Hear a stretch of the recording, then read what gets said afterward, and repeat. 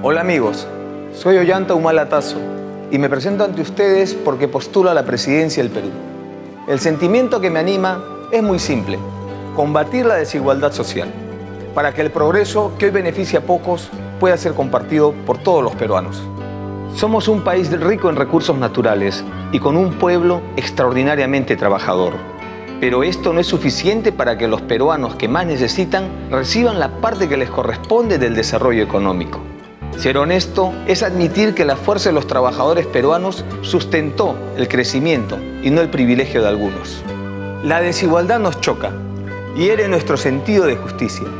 Para que el Perú, nuestra nación, continúe ganando, es necesario que todos los peruanos ganen. El momento es ahora. Los invito a que se unan a esta cruzada por la igualdad de oportunidades.